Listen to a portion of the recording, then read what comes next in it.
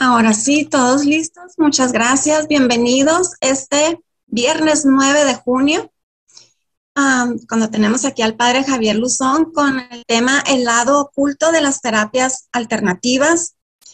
Les pedimos por favor a los que van llegando si pueden tener listo agua, sal y aceite, porque al final de la conferencia tendremos bendición de sacramentales y de casa. Y ahora sí, Padre, bienvenido. Muchas gracias por estar aquí con nosotros. Muy buenos días a todos, bien hallado. Y en, esta, en este día, después de haber celebrado el Corpus en otros sitios, que lo celebraremos el, próximo domingo. Y pues efectivamente, eh, si les parece, eh, vamos a, a, encomendarnos al Espíritu Santo.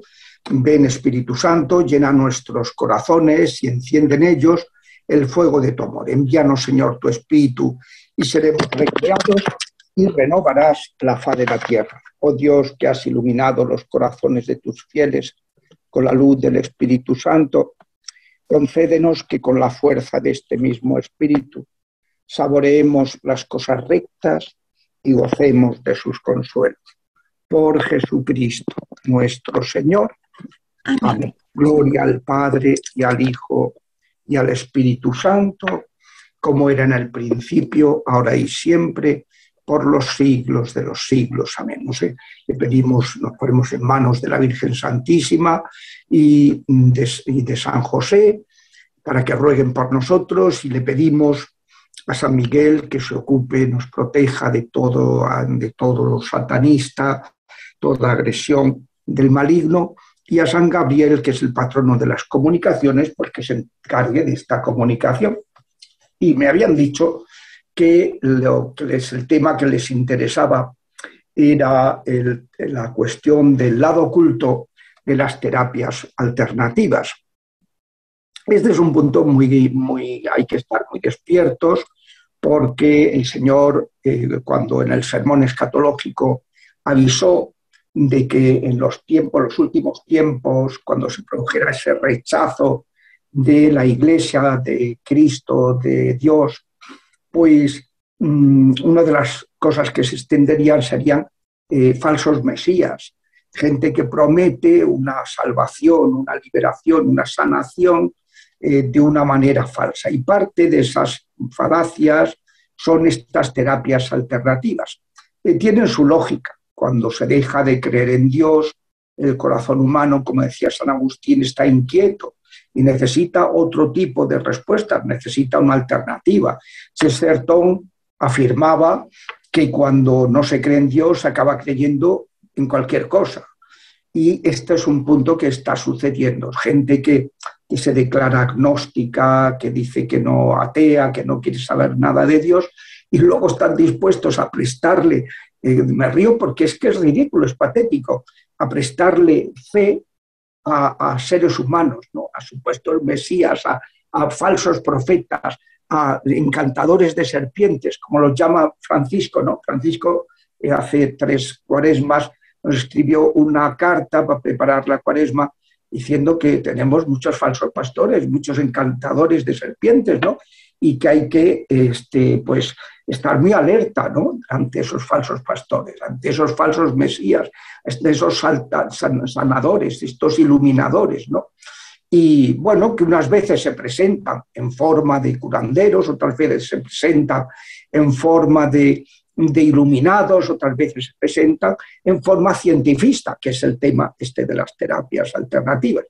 Entonces, bueno, pues vamos a, entrar un poco, pero sí quería yo enmarcar la cuestión.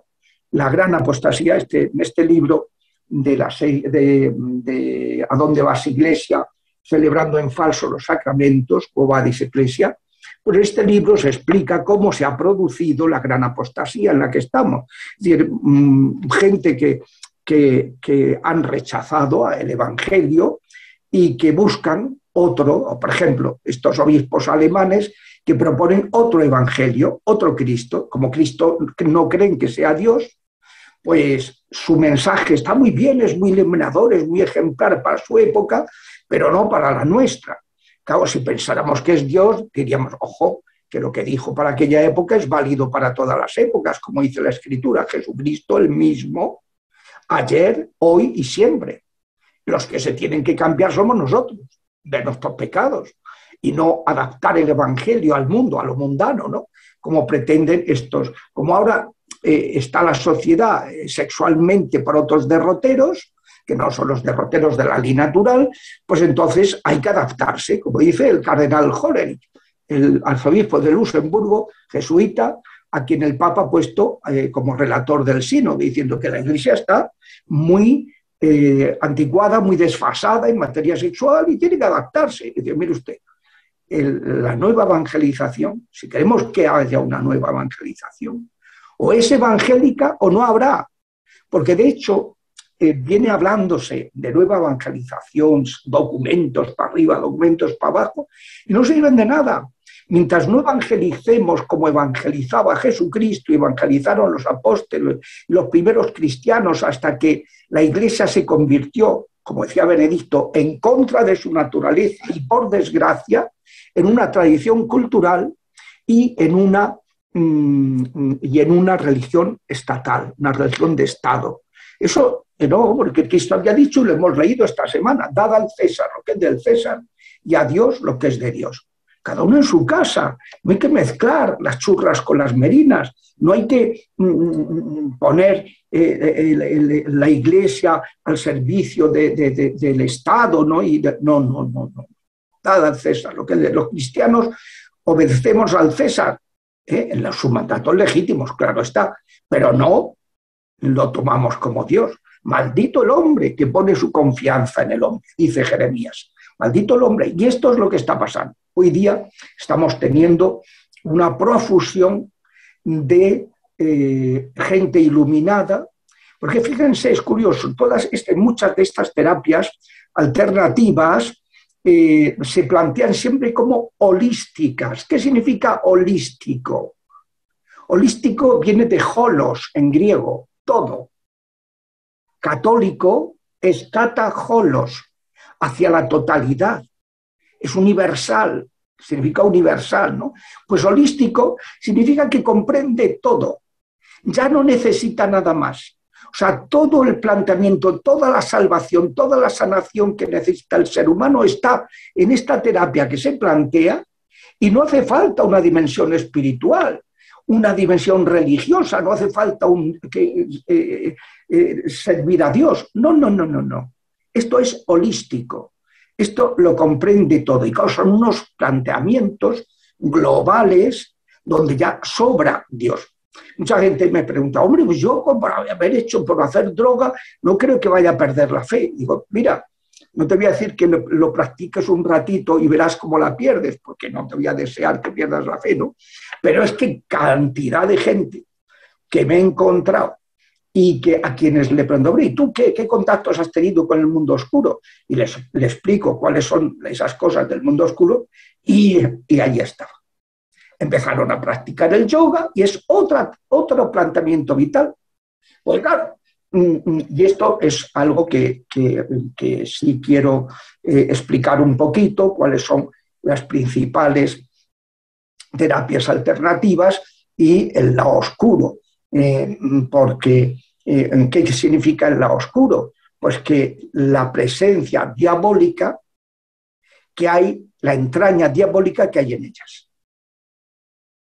En ese planteamiento holístico que excluye lo divino, excluye a Dios, en esas psicoterapias del siglo XIX, experimentales que surgen en el siglo XIX y siglo XX, que salvo una, la logoterapia, todas las demás son antirreligiosas, porque dicen que la última instancia de la persona es la psique, es el raciocinio, es la razón, es el racionalismo, es Descartes, que es la gran calamidad de la modernidad. Bueno, pues eh, vienen a decir que claro que es la última instancia y por tanto lo espiritual se ríen de ellos. Y cuando una persona le viene con unas ideas religiosas, la ridiculizan y dicen, no, mira, es que esto te está provocando mucha frustración, mucha represión, tú déjate llevar, tú haz lo que, lo que te pida el cuerpo, tú... Así lo plantean. Y claro, pues, pues como que no. Como que no, porque mm, mm, estos Em, planteamientos holísticos, donde la última instancia es lo que yo estoy presentando y no admitiendo un ser divino. Bueno, hay distintas, mm, distintos campos, ¿no? pero el, núcleo fundamental de todo esto es el rechazo de la fe, de la fe revelada. Cuando hablo de fe, hablo de fe revelada. Tener fe en, ideologías, en propuestas que hacen hombres, a mí me parece ser un petardo, o sea, una persona que se somete a otro hombre. Eso jamás. Eh, eh, como decía el, Calderón de la Barca, ¿no? Eh, pues que al rey se le debe dar la, el, dinero, la, tal, pero no la honra, porque la honra del alma y el alma solo es de Dios. Bueno, pues cuando la gente se somete gregariamente ¿no? a seres humanos y acaban, se convierten en sectas. ¿Por qué hay tantas sectas? ¿Y por qué dijo San Pedro que había tantas sectas en estos momentos de la gran apostasía, antes de la gran purificación? ¿Por qué dijo Jesucristo que había tantas sectas? Miren el capítulo 24, de Mateo, 13 de Marcos y 21 de Lucas.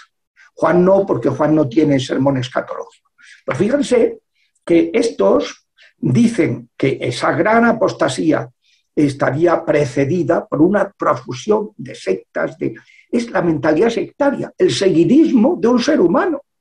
Al único que hay que someterse a adorar, adorarás a un solo Dios. ¿Cuál es? Eh, ayer leíamos ese, un escriba que le pregunta a Jesucristo, mira, yo estoy un poco perdido, más perdido que el barco del arroz y ya no me aclaro dentro de tantas normas de la Torá.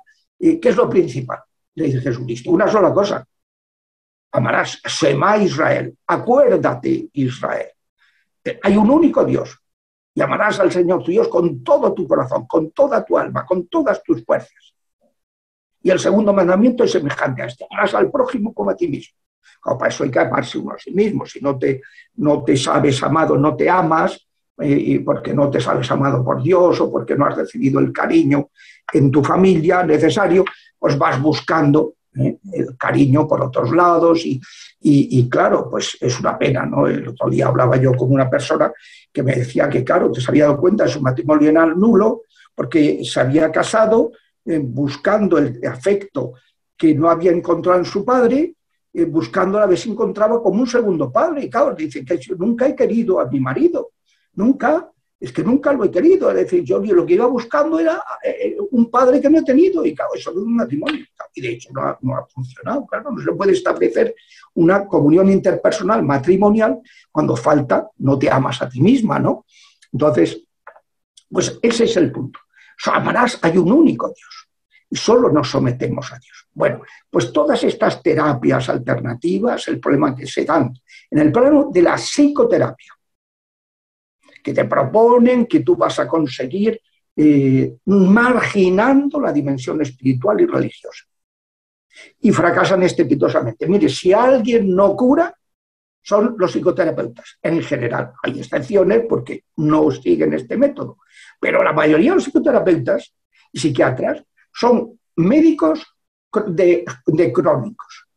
No los curan, porque no se puede curar a un señor a base de darle pastillas que es lo que hacen muchos psiquiatras. No se puede curar a un señor a base de hacerle una psicoterapia, además parcial, dándole unas pautas de conducta para cuando le surja el problema, si no vas a la raíz, si no vas al fondo, pues si no vas además a la dimensión más importante de la persona, eh, eh, eh, a la persona que yo no sé si dicen aquí que no se escucha. Se escucha la, la charla, Sí, sí se escucha, es una sola ah, pues persona y ese es problema con su computadora. Es problema de su computadora, vale. Pues que digo que eh, eh, hay psicoterapias eh, pues que, mm, que, se centran nada más que en un aspectito, lo suyo, los de la gestal, la psicoterapia humanista, la psicoterapia familiar, ¿no? sistémica, que, cuenta la fiesta, pero no se ocupan de otros aspectos, no quieren saber nada, hacer una historia clínica, no quieren ir a la raíz, no, no, vamos a vivir, el pasado no importa, vamos al presente, oiga, ¿cómo que no importa el pasado? Pasado está, siendo, está en el presente, importa el presente, pero es que en el presente hay muchos elementos que provienen del pasado. En tanto en cuanto, si estuvieran verdaderamente pasados, no importarían. Pero eso es lo que te dicen muchos. Y claro, son planteamientos holísticos. Lo que yo digo es todo.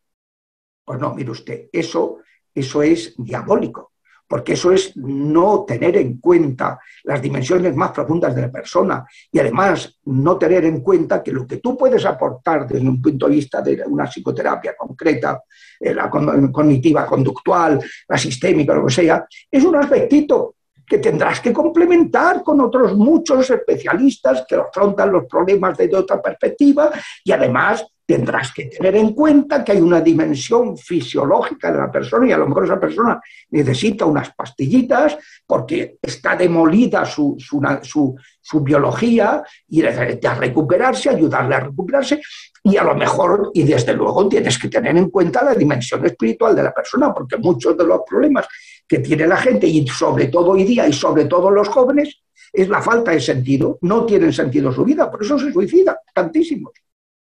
No le ven sentido. Como no ven a sus padres, pues sus padres no van por casa. Los tiene. Ahora, por ejemplo, aquí en España, los colegios, todo es, a ver, ¿qué colegio? Los colegios privados, los estatales, como tienen, eh, eh, les van a pagar igual, pero los de iniciativa social eh, dependen de que tengan alumnos. Entonces, ¿cómo se ganan el alumnado? Pues proponiendo, ofreciendo a los padres un mayor tiempo de guardería de los hijos. O sea, desde las 7 de la mañana, siete y media de la mañana, hasta las siete y media de la tarde, le vamos a tener a su, hijo, aquí ocupadito en, el colegio y ustedes pueden no atender. Claro, cuando vuelven, cambiar, tal, prepararla, hacer ya, no hay trato, no hay, luego además cada uno cena por su cuenta, viendo su celular, viendo la televisión, viendo tal, no hablan, al final, pues como me decía a mí el otro día una profesora, que dice, es que me, están diciendo, muchos dicen que es que no ven a sus padres, que no encuentran sentido a su vida, porque llegan a las 11 de la noche. ¿eh? Entonces, claro, esto es, es el, el, disparate. O si tú no vas al fondo de los problemas y, vas pretendiendo darle una... Mm, eh, la solución es, eh, pues eso, conciliación, que dicen. Conciliación significa desentenderte de los hijos, ¿no?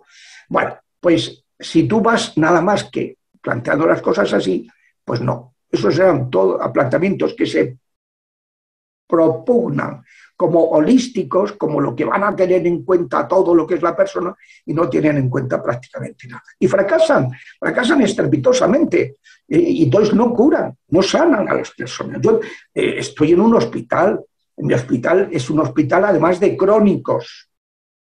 Ayer celebramos la, despedida de, de, una de las jefas que se jubila la semana que viene. Y entonces, eh, pues ella lo explicaba, este hospital ha evolucionado de ser el hospital de infeccioso, el hospital del rey, hospital de, Y ahora es un hospital de crónicos, pero un hospital de crónicos dice que lo que más nos ha dolido en los últimos años es que nosotros íbamos, llegaban y se, y se iban a sus casas, pero es que ahora muchos vienen y se mueren. Y lo que van es al cementerio, porque hemos pasado de, de eso, de o sea, no curar, porque lo normal en medicina es intentar curar y no asumir que, estos pacientes no tienen cura. Oiga, mire usted, y que van a estar dependiendo de ti eh, toda la vida, que tú eres su gurú, que le vas a, iluminar el sentido de su vida y le vas a dar que pueda seguir viviendo y que él encuentre un sentido a su existencia. Pues como que no, ¿eh? porque eso son, es un aspecto. Otro tipo de, terapias alternativas son las que vienen del ámbito eh, oriental. Eh, cuando, eh, claro, se rechaza la tradición judio-cristiana, la civilización occidental, que tiene dos apoyos. La, tradición judio-cristiana, la revelación divina, que se ha dado solamente en la antigua alianza y en la nueva alianza. Y segundo, el eh, la cultura greco-latina. Entonces, cuando tú rechazas, cuando el Renacimiento se queda con lo greco-latino, rechaza la Iglesia, la tradición judeocristiana, y a partir de ahí se va toda la sociedad occidental, que era un invento, pues, que era el maridaje entre la cultura greco-latina y la judeocristiana, y la, inspiración judeocristiana, pues mm, mm, empieza todo eso a alejarse de... Y entonces pues empieza a buscarse otra espiritualidad en espiritualidades eh, de orientales. ¿Qué tienen las espiritualidades orientales? ¿Por qué son el lado oculto de estas, de estas terapias, yoga, mindfulness, reiki, tai chi, eh, que están inspiradas en esas mm, espiritualidades orientales? ¿Cuál es el lado oculto? ¿Cuál es su aspecto diabólico? Hablando de diabólico, ¿eh? Y, les puedo asegurar que he tenido eh, una, persona, como ha pasado, pues que ha atendido más de 15.000 intervenciones exorcísticas, pues claro, la experiencia que puedes tener al respecto es enorme. ¿Eh? Y toda la cantidad de anécdotas que les podría contar de todas estas cosas son abundantísimas, ¿no? que corroboran precisamente todo esto que estoy diciendo. Pero es que lo que me interesa no es solamente que sepa decir, bueno, esto puede ser peligroso, esto puede abrir puertas, esto me puede dejar, como le pasó, ¿verdad?, aquella chica, aquella escritora, lo he contado muchas veces, británica, que agarró un low cost, estaba mm, zombie completamente, se plantó en Madrid queriendo ver a un sacerdote, él no, la podía atender, y entonces, pues, el que le llevaba el blog, pues, me, contactó, que había sido auxiliar mío en el Ministerio de Exorcístico, y me pidió si podía ver. Y dije, mira, yo ahora no soy exorcista. Y dije, no, no, es para discernir, orientarla y tal. Bueno, entonces se presenta una chica de unos 30 años, 32, 30 por ahí, que alta, y era un zombi con los hombros caídos, no podía hablar. Le preguntamos, bueno, ¿y qué te pasa? Y ¿pero eres muda? Y dice, no, no, empezó a escribir, me he quedado muda. Bueno, entonces, entonces lo primero que hicimos fue orar a Dios para que le quitara el demonio mudo. Y el demonio mudo se fue, gracias a Dios, y empezó a hablar. Entonces os explico, miren, yo empecé a practicar el mindfulness. Ella es, es escritora de libros de niños, una escritora conocida del Reino Unido, y entonces hice, yo empecé a practicar el mindfulness. Como saben, el mindfulness significa atención plena. Es mm, agarrar la mochila de tus sentimientos, te la pones delante, te concentras en ellos, te distancias de ellos. Dice, y al principio me dio un subidón enorme. Claro, tú en tu mochila hay cosas positivas y negativas. Cuando te quitas las negativas, te distancias de las negativas, te da una euforia, un, alivio, un tal. Pero amigo, como también te ha quitado las positivas, has autorizado que otras entidades controlen tus sentimientos. Y, el, siguiente paso que nos dijo, después del subidón, se me secó el corazón, dice la mujer. Se me secó el corazón. Yo nunca había oído esa expresión, secársete el corazón. Y entonces le pregunté, ¿y eso qué es lo que es? Y dice, pues que no siento nada. Digo, ¿cómo que no sientes nada? Hombre, algo sentirás. Digo, no, no, no siento nada. No siento alegría, no siento pena, no siento tristeza, no siento asco, no siento interés, no siento atracción. No sentía nada. Era de indiferencia total. Eso es precisamente el ideal de, de las mm, prácticas orientales, que es la anulación de tus deseos. Porque ellos dicen, si deseas algo, como no lo vas a conseguir, te vas a frustrar. La manera de ser feliz es renunciar a tus sentimientos y diluirte, anular el yo, diluyéndose en el nirvana, la energía universal. Nirvana, eh, para identificarte con, o sea, alcanzar el nirvana, diluyéndote en Brahman, que es la energía universal. Brahman no es propiamente un dios personal, sino es, es una, una especie de panteísmo, una energía ¿eh? que la fuerza te acompañe, ¿no? Bueno, una energía así universal y tal, y que, claro, mm, mm, pues eh, es un tema muy serio, porque ¿a quién le puede interesar que el ser humano se anule a los diablos, que lo que quieren destruirnos? Entonces, pues ese ideal de vida que es la nirvana, la anulación de todo sentimiento, eso es diabólico. Y ahí es donde se funda el mindfulness y ojo, eh, que es que le están haciendo mindfulness en las empresas, a los niños en los colegios, en los hospitales, en tal, o sea, y claro, pues al principio se produce una relajación y tal, pero empiezan los efectos adversos. Si miran en mi página web, en el, las seispuertas.com, van al apartado de actualidad y pongan control F, que es buscar en una página web, y escriben mindfulness. Le salen varios artículos de artículos científicos que están saliendo, están hablando de los efectos adversos, que están descubriendo estudios ya muy serios, muy documentados, con un amplio espectro. Bueno, dice, por ejemplo, una de las cosas que ocasiona el mindfulness es que te quita la capacidad de reaccionar ante el mal que haces. Es bueno que tú tengas, eh, eh, pues, eh, conciencia, mala conciencia cuando haces una faena. Cuando tú haces una faena y no tienes mala conciencia, eso es peligrosísimo. Como me dijo a mí un cura, estaba yo en Córdoba, vivía en Córdoba, que es donde empecé a ejercer el ministerio exorcístico, y fui a predicar un triduo en la, en la iglesia mayor, la iglesia Santa María Mayor de Baena. Y el párroco que estaba allí, don Virgilio Olmo, me acuerdo perfectamente, que en paz descanse ya, era un hombre eh, con una gran experiencia, yo llevaba 10 años de cura nada más, era un chaval, eh, esto era en el año 90, 91, por ahí. Y, entonces, pues eh, este sacerdote me dice, Javier, tú no tengas miedo con las personas malas, las malas no tengas miedo. Lo malo son las locas, las personas locas. Digo, ¿y eso, Virgilio? Y dice, pues sí, muy sencillo. Las personas malas te van a hacer sí o sí el daño que te quieren hacer pero miden, porque si no, no duermen, porque tienen sentimientos, no como el mindfulness, que te quita los sentimientos. Dice, en cambio, los locos, las personas locas, esas te pueden hacer la mayor faena y duermen a pierna suelta porque no tienen empatía. Es uno de los, los trastornos de personalidad, síndrome narcisista y otros trastornos, eh, los psicópatas, etcétera, eh, algunas neurosis, que son los tres tipos de trastornos psíquicos, pues eh, muchas veces un elemento en común que tienen es la falta de empatía. Están tan absorbidos por su, el dolor, por, su propio dolor, que son incapaces de ponerse en los zapatos que tienen al lado. No tienen empatía. Entonces, pues eso, eso es el mindfulness. Eso es lo que te el mindfulness es el quinto grado del yoga la gente dice, no, ¿qué malo tiene que yo por algunos ejercicios de relajación? Ninguno.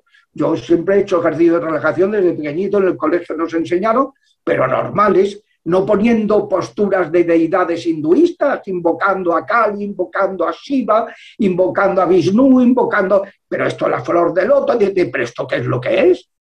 A lo mejor el maestro de yoga, prudente para que no provocar rechazo, no dice al principio nada. Luego ya empieza con invocaciones. Vamos a saludar al sol. ¿Cómo al sol? Saludaremos a la persona divina que ha creado el sol, no el sol que no es ninguna persona. Solo agradecemos el, efecto benéfico del sol, pero no saludamos a ningún sol. ¿Qué es eso de saludar al sol? Eso es panteísmo.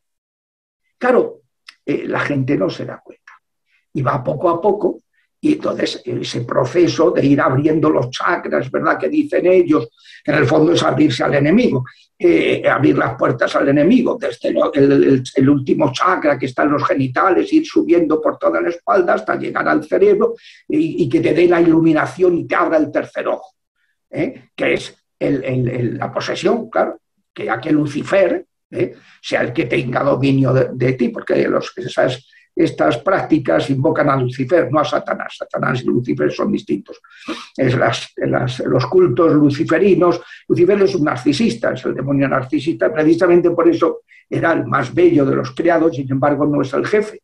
El jefe es Satanás, el arrogante.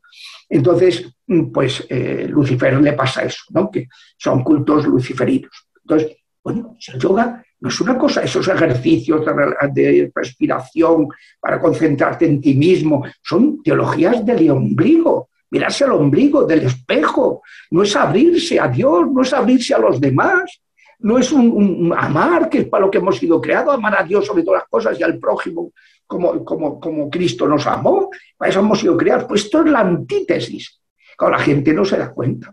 El Zen, eh, pues eh, ahora los obispos españoles hace dos o tres años han sacado un documento porque hay un movimiento aquí en Madrid de un sacerdote que, eh, pues que está en, la, meditación fe. Zen cristiano lo llama. Y claro, el, documento con los obispos diciendo, no existe un zen cristiano. El zen es la antítesis del cristianismo, de la oración cristiana. Y es curioso porque este señor lo estuve en el año 2019 en Ecuador, dando un curso de exorcística en la diócesis de Santo Domingo de los Sáchidas, los Colorados, traducido al español es los Colorados. Y entonces estuve una semana. Y un mes después fue por allí este sacerdote, iniciador de este movimiento fe, y me escribe uno de los exorcistas que asistió. Dice, oye, padre, ha venido un compañero suyo de Madrid y tal, y nos han chocado dos cosas. Una, nunca ha mencionado a Dios. Dos, nunca le hemos visto celebrar misa. Claro, porque es otra historia, es que ya es otra, es otra, teosofía. Es que tú dirás, no, no, no, nosotros no rechazamos el catolicismo, somos muy católicos. No. Eso es otro planteamiento completamente heterogéneo. No, no es el zen, el, yoga, el tai chi, el, mm, el mindfulness, o el Reiki, ¿el Reiki qué es? Pues es una invocación de los demonios, no te lo dicen expresamente, ellos los llaman maestros ascendidos. Yo siempre les pregunto a estos de, maestros de, de Reiki, le digo, oye, ¿y estos maestros ascendidos tuyos a quién adoran? Y se callan, nunca me responden, nunca me responden, porque ellos saben que estos maestros ascendidos no adoran a Dios, rechazan a Dios. Eh, no, es, una revelación de unos maestros ascendidos y tal. Entonces, ¿qué es lo que se hace con esa canalización de, energías? ¿no? decir, ¿qué, energías son esas? Pues claro, eh, eh, tú lo que estás es, cuando estás imponiendo manos, o estás o invocas a Dios, o estás invocando a otras entidades. ¿Qué entidades? Las entidades mm, buenas no van a intervenir, van a intervenir los demonios. Aquí, por ejemplo, en Madrid, estaban eh, eh, practicando el Reiki en los hospitales y hubo tal cantidad de efectos adversos que se quejaron a la Consejería de Sanidad y los prohibieron. Porque lo que no querían era tener que pagar indemnizaciones. empezó a haber efectos adversos y la gente no sabe, la gente se cree. Hay cantidad de testimonios de gente que han sido maestros de Reiki con su mejor voluntad y cuando se han encontrado con el demonio, con los demonios, han rectificado. Hay un testimonio, por ejemplo, eh, en, el, en, el, en el, ¿cómo se llama? Eh, en, Internet, un testimonio de Juan Sánchez. Juan Sánchez, en mm, Asalto al Cielo. Ustedes ponen Asalto al Cielo, Juan Sánchez y sale un testimonio en una parroquia de Colmenar, de aquí de Madrid, mm, pues que mm, en la que este señor, que es un militar, eh, naturópata y que era maestro de Reiki de yoga, pues se convirtió, claro, por cuando se dio cuenta de lo que estaba haciendo. Entonces él lo explica, claro, lo explica con una viveza porque lo ha padecido y él lo ha hecho con su mejor voluntad y no era consciente de que estaba invocando esas entidades maléficas que, mm, cuando a los demonios se les invoca, los demonios lo aprovechan todo, ¿eh? lo aprovechan todo. Bueno, pues este es otro tipo de, de, terapias alternativas, ¿no? donde la gente va buscando también desde una perspectiva holística, donde solo todo es lo que ellos dicen, ¿no? y no existe Dios ni existe otra cosa. Y un tercer tipo de terapias alternativas son todo tipo de pseudo medicinas, que en el fondo son distintas maneras de curanderismo, eh, que, uno va mirando, eh, a ver estos, qué es lo que proponen, que estos qué es lo que hacen, estos qué es lo que tal que si curan, y uno mira en internet y, entonces te dicen, hombre, los científicos dicen que esto es una pseudociencia. Entonces, ¿pero qué es lo que hay? De, son muchísimas, ¿eh? Voy a poner a enumerarlas, eh, pero mm, estas pseudociencias, ¿qué es lo que sucede? Por ejemplo, pongo un ejemplo que es muy conocido, muy, muy esto, eh, que es la homeopatía. Ahora hubo un congreso aquí en Barcelona hace un par de años en el que declaraban que la homeopatía era el placebo más caro del mundo.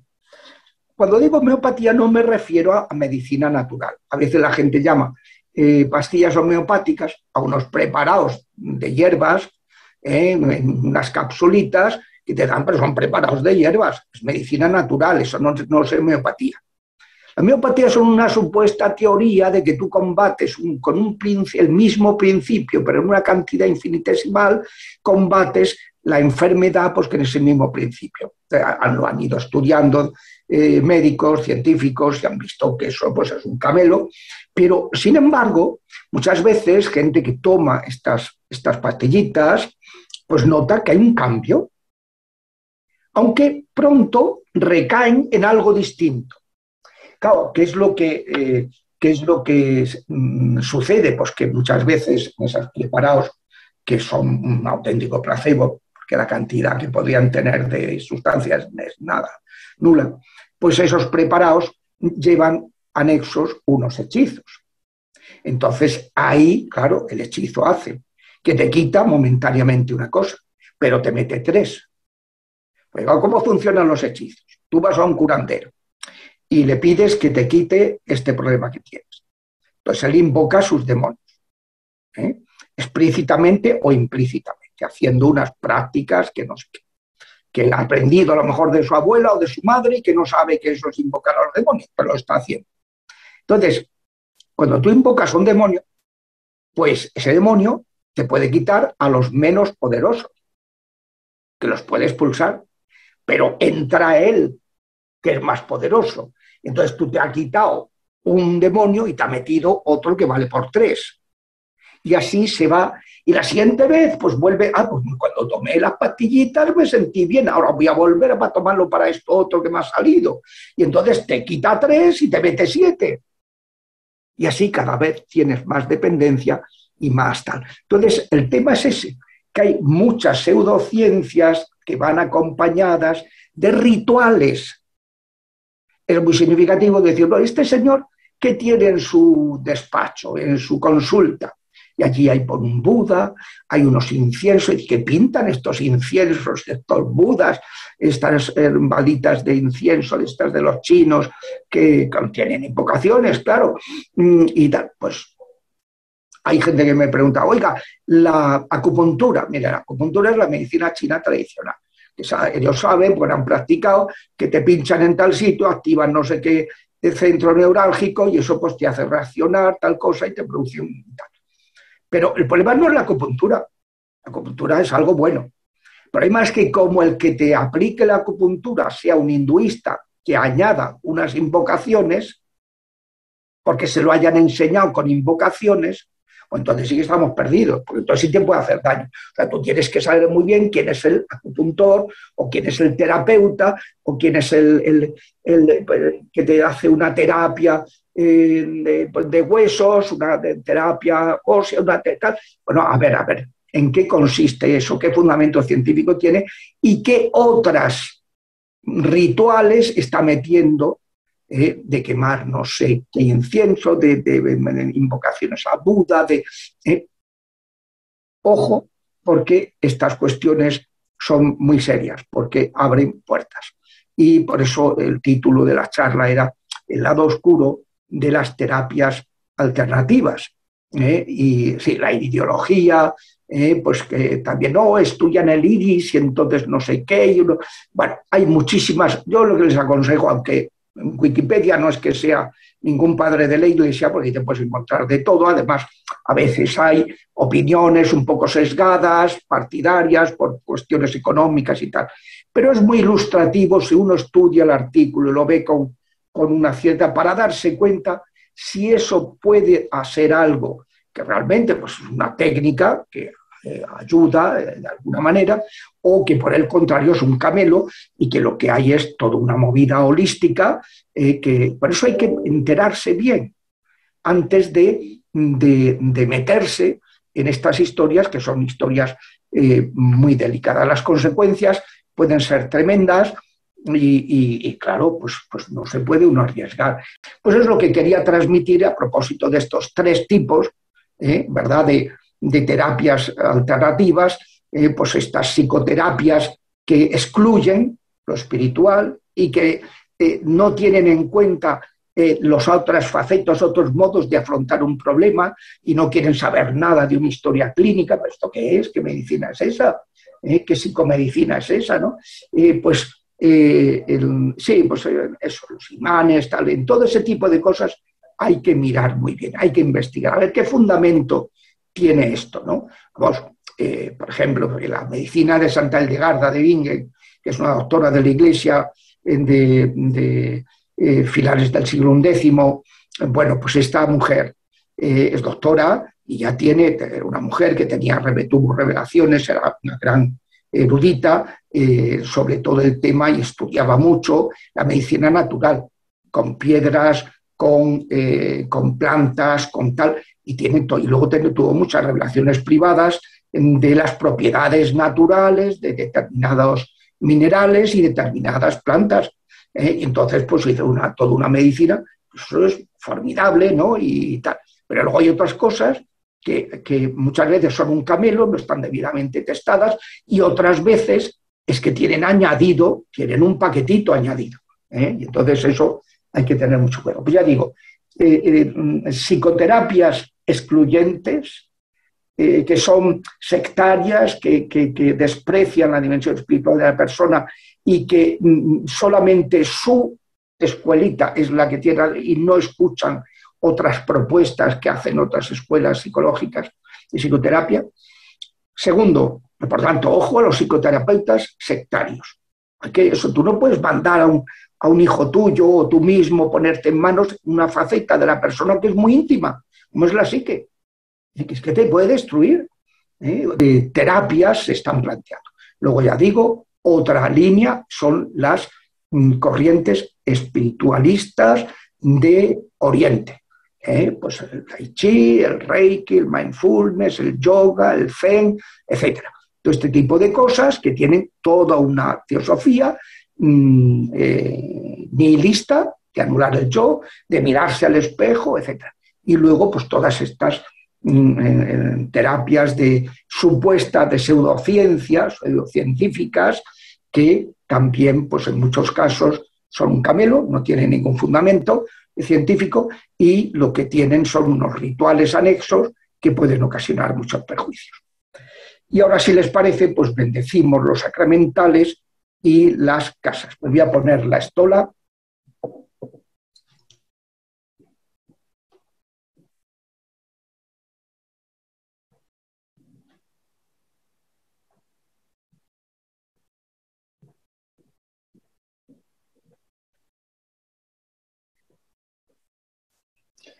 Oh Dios, que para la salvación del género humano hiciste del agua un gran sacramento, atiende propicio nuestras súplicas e infunde en este elemento la fuerza de tu bendición, para que esta criatura tuya, poniéndose al servicio de tus santos misterios, asuma la eficacia de la, de gracia divina para expulsar los demonios y curar las enfermedades, para que cualquier cosa perteneciente a los fieles que sea rociada con este agua quede liberada del mal que nos instale en ella el espíritu maligno, se alejen todas las asechanzas del sutil enemigo, a fin de que tus fieles incólumes, por la invocación de tu santo nombre, se vean libres de todo su poder. Por Jesucristo nuestro Señor. Amén. Ahora la sal. Te suplicamos humildemente, Dios Todopoderoso, que te dignes decir esta sal, del mismo modo que mandaste al profeta Eliseo arrojarla al agua para remediar su esterilidad. Te rogamos que allí donde se derrame esta mezcla de sal y agua, ahuyentado el poder del enemigo, seamos protegidos con la fuerza del Espíritu Santo. Por Jesucristo, nuestro Señor. Amén. Bueno, advierto que estas bendiciones solo sirven en vivo, enlatadas no sirven. Si ustedes ahora la grabación se la ponen, no bendice nada, que la bendición tiene un acto del ministro, del diácono, del sacerdote, en vivo no, no queda enlatada. ¿eh? Lo sagrado no se enlata. ¿eh? Puede servir muy bien y puede a uno ayudarle, pero no va a bendecir nada. Y ahora el aceite. El, los, el aceite, los objetos piadosos, el incienso y las velas. y las casas. Te ordeno, espíritu del mal, que abandones todos estos objetos en el nombre de Dios Padre Omnipotente. Hizo el cielo, la tierra y el mar, todo lo que en ellos se contiene, que desaparezca y se aleje de ellos toda fuerza del adversario, toda acción de Satanás, toda influencia o presencia de almas del buen purgatorio, errantes o de almas condenadas, en el nombre de Dios Padre Omnipotente, su Hijo Jesucristo y Señor nuestro y del Espíritu Santo Paráclito, y en el amor de Jesucristo que ha de venir a juzgar a los vivos y a los muertos y al mundo mediante el fuego. Amén. Ahora la bendición del aceite. Dios omnipotente, delante de quien está con temor el ejército de los ángeles, dígnate mirar, bendecir y santificar este aceite con el que mandaste ungir a los enfermos, a fin de que una vez obtenida la salud, te diesen gracias a ti, Dios vivo y verdadero. Te rogamos que cuantos usen este aceite que bendecimos en tu nombre, queden libres de toda adversidad, todo dolor y todas las influencias del maligno, y asimismo no se vean heridos por la mordedura de la antigua serpiente, ya que los has redimido con la sangre de tu Hijo, el que vive y reina por los siglos de los siglos. Amén. Ahora los objetos piadosos. Dios omnipotente, dador de todos los bienes, te suplicamos humildemente que por la intercesión de los santos aquí representados y fundas tu bendición sobre estos objetos, a fin de que quienes los usen, dedicándose a las buenas obras, merezcan conseguir la salud del alma y del cuerpo, la gracia de la santificación y todas las indulgencias que se nos otorgan. Y por la ayuda de tu misericordia, te sirvan y por ayuda de tu misericordia puedan recuperar toda la gracia y, y ser protegidos de los ataques del maligno. En el nombre del Padre, y del Hijo, y del Espíritu Santo. Amén. Eh, ahora las velas. Dios omnipotente que enviaste a tu Hijo al mundo, Dios de Dios, luz de luz, infunde tu bendición sobre estas velas, que para que eh, en los momentos de oscuridad no brillen ante las personas que las usen y sean guiadas y encendidas en la fidelidad a ti y guiadas en el camino de la salvación por Jesucristo nuestro Señor. Amén. Ahora el incienso. Santa Casa de Jerusalén, donde Cristo entró y fueron, huyeron todos los espíritus inmundos, te rogamos que allí donde se queme este incienso en honor de tu nombre, queden ahuyentados todas las influencias del enemigo, queden protegidos de todo ataque de los malignos, queden mm, expulsadas todas las almas de difuntos condenadas o errantes, en el nombre del Padre, del Hijo y del Espíritu Santo. Amén. Y vamos a ver qué más quedaba. El incienso, las velas, los objetos piadosos, el aceite, y las casas. Dios omnipotente, que enviaste a tu Hijo al mundo para habitar entre nosotros, te rogamos que infundas tu bendición sobre estas viviendas a fin de quienes las habiten dedican, sientan tu presencia protectora. Cuando salgan, noten tu compañía. Cuando regresen, noten la alegría, tengan alegría de tenerte como huésped hasta el momento en que los llames a la casa del Padre. En el nombre del Padre y del Hijo y del Espíritu Santo. Amén. Dios conmigo, Espíritu del mal, y a todas las eh, almas eh, errantes o condenadas que abandonéis estas casas en el nombre del Padre, del Hijo y del Espíritu Santo. Que se desaparezca de ellas toda fuerza del adversario, toda acción de Satanás, toda presencia de difuntos, almas de difuntos, en el nombre de Dios Padre, en el nombre de Dios Hijo, en el nombre de Dios Espíritu Santo y por la intercesión de Santa María, que aplasta con su planta inmaculada la cabeza del inmundo. Amén, amén, amén. Y la bendición de Dios Todopoderoso, Padre, Hijo y Espíritu Santo, descienda sobre ustedes y permanezca siempre. Amén. Bendigamos al Señor, demos gracias a Dios. Bueno, pues hasta mejor ocasión. Que Dios los bendiga a todos. Entonces, que las preguntas que están aquí y en YouTube se las mandamos y luego las contestamos. Sí, ya, sí, ya veremos a ver cómo, cómo contestamos. Pero ahora ya no tenemos más tiempo. Ok, está muy bien, padre. Muchísimas gracias. Gracias por todo. Y las preguntas que están aquí, no se preocupen, se las vamos a mandar al padre y él ya verá cómo nos las contesta. Luego vemos. Muchísimas gracias. Buen día. Igualmente. Dios lo bendiga. Dios lo bendiga, padre. Muchas gracias. Bueno, antes de retirarnos, los invitamos a que nos acompañen, no sé qué pasó ahí, que nos acompañen en los siguientes eventos del apostolado. Este domingo tenemos la paraliturgia de sanación de las seis puertas, 11 de la mañana, hora de la Ciudad de México, y a las 6 de la tarde, bueno, este domingo será a las 7 de la tarde, hora de la Ciudad de México, el padre Gabriel Panduro Muñoz celebra la Santa Misa y él la transmite por la página de Facebook del apostolado y también la transmite por el canal de YouTube del apostolado. La próxima semana tenemos vacaciones, no vamos a tener evento el miércoles, no vamos a tener conferencia, pero sí habrá el jueves adoración al Santísimo con el Padre Jesús Leonardo Rebollo León.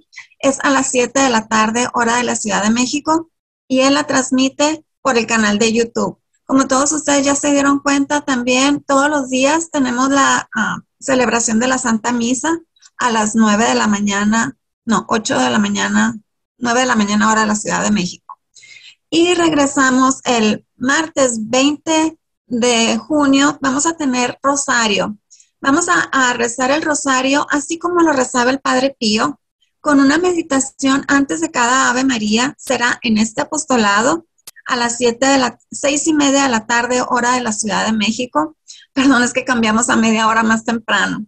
Y el miércoles 21 de junio vamos a tener al padre Monseñor Sergio Soler desde Nicaragua y él nos va a hablar del tema los momentos litúrgicos de la reconciliación, parte 1, siete y media, va a ser media hora más tarde esa conferencia.